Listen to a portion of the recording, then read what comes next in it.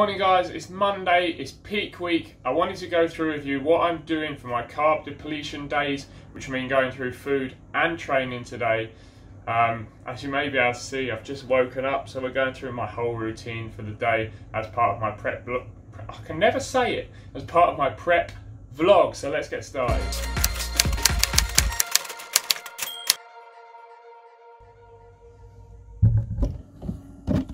Alright guys, so the first thing I'm going to do is fill up the gallon jug with water to get my hydration started for the day. I'm going to drink three of these plus a pre-workout, so around seven litres of water every day. So I've got to get that in early, or else I'm not going to sleep. So let's go. Alright, it's one week out and I'm having chocolate mousse for breakfast. Surprised? Maybe. But I'm going to show you how to make it. It's really, really nice. Made from avocados, unsurprisingly. So I'm getting my healthy fats in it's high protein because I'm going to use a protein supplement in there.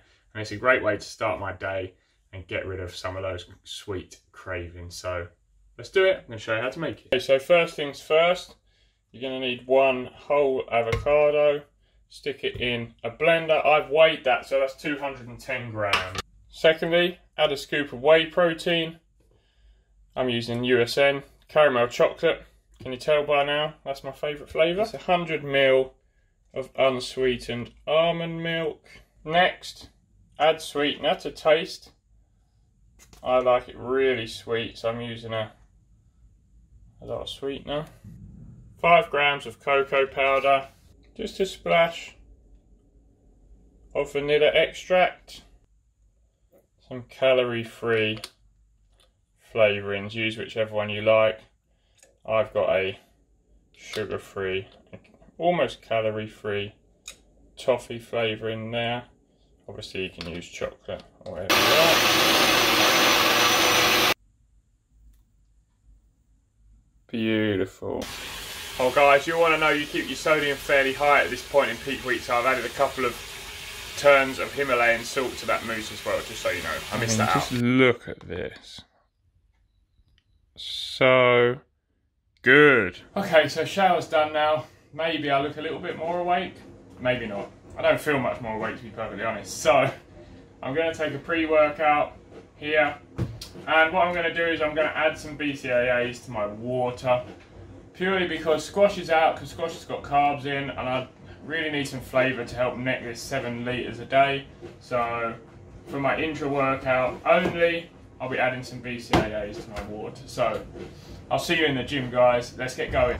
Oh, and if you're wondering about timelines, it's now just about 10 o'clock. So it's now since I got up at 8, my food's had a chance to settle, had a chance to wake up, and the pre-workout's starting to kick in. I'm only five minutes from the gym, so I will see you in there. Let's do this. Okay, so I've made it. Feeling tired, hopefully that pre-workout's going to kick in big time soon. But basically how this workout is going to work, we're going to be doing three exercises per body part, 20 rep sets three sets per exercise. So we'll be doing a lot of reps. Basically, it's, it's 120 reps per exercise. Minimum rest period is 30 seconds max. Let's deplete that glycogen. I'm starting with an incline hammer press. Let's go.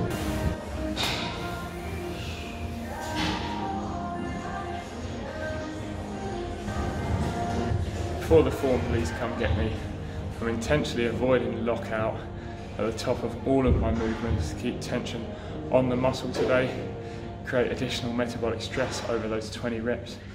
This isn't about going heavy either, it's about getting those reps in. 30 seconds, nearly up. Time set two, let's go.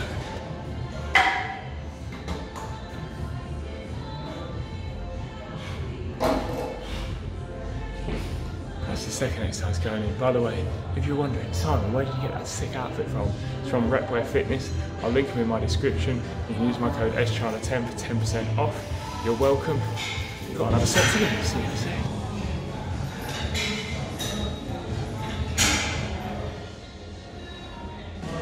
So that's my 160, 180 reps of chest done.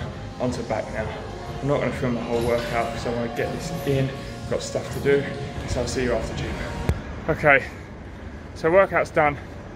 That was pretty tough, but I think when you're on prep, you have to learn to embrace when it's hard because they're the times you can really make progress. So I absolutely enjoyed that workout, even though now, I mean, the word depletion is pretty key because I feel super depleted, but I'm going over into Canary Wharf now because I'm gonna get some tanning on. I'm gonna try and get as dark as possible as a base coat, genuine tan for when I do my tan on Saturday. So I'll see you there. By the way, I'm in Urban Beach in Canary Wharf. Sick lighting. right, we've got 15 minutes to do in here, get this tan. I've got my tan done. A lot of you probably don't know, but I used to work for Hugo Boss. I've just popped in there and got some sliders. So it's gonna look ultra fashionable, right, when I had my tan done on the day. Now I've got to pop to Tesco's because I'm gonna get some spinach and some egg whites because I realised yesterday was my first day of carb depleting. It wasn't really the lack of carbs that made it a struggle for me, but it's the lack of volume in the meals and not feeling full. So I feel like that will help me increase the volume without increasing the calories too much, make some slight adjustments. So I feel more full, more satisfied, and make it through the day without cocking up my food. So let's go. Side note, on my way back, just realised that I'm so tired right now. I'm actually scared to go to work. That's actually madness. Like, I love my job, but like, I know how tough it's gonna be. I've got a shift that starts at like half past two, and I'm there till basically 11 o'clock. And feeling like this, like, I'll get through, and I'm motivated because there's some great guys at work, the team's good, like, all of the clients there are amazing. I love you guys, but oh my god, you know that tiredness is hitting when you're actually scared to go to work. Scared, actually scared. And maybe I'll feel better after some food. Let's go.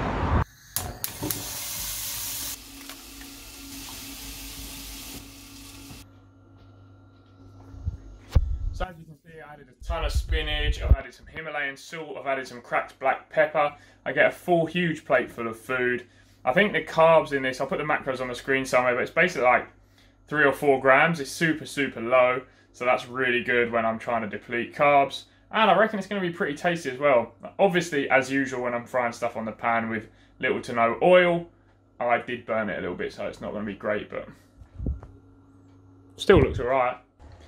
So I bring two meals to work in a Tupperware. They're really, really super basic. I've already eaten one of them, but I'll show you what it looks like here. Okay, have, have a take a look. Take a look. Mad camera skills.